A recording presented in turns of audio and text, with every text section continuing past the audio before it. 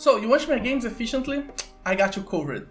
I make quality ready-to-use assets just like this Godot Sandbox, a 5 stars rated asset pack present in more than 90 collections from game developers just like you on itch.io. I am Henrique Campos, also known as PigDev, and I've been developing open source games with open source tools for more than 3 years now.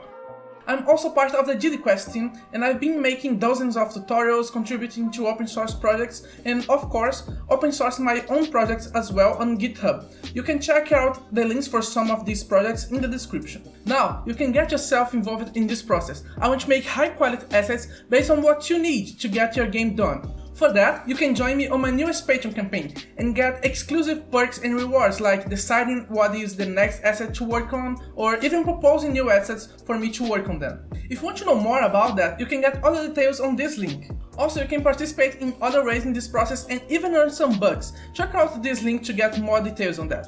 That's it. Thank you so much for watching, get involved, keep developing and until the next time.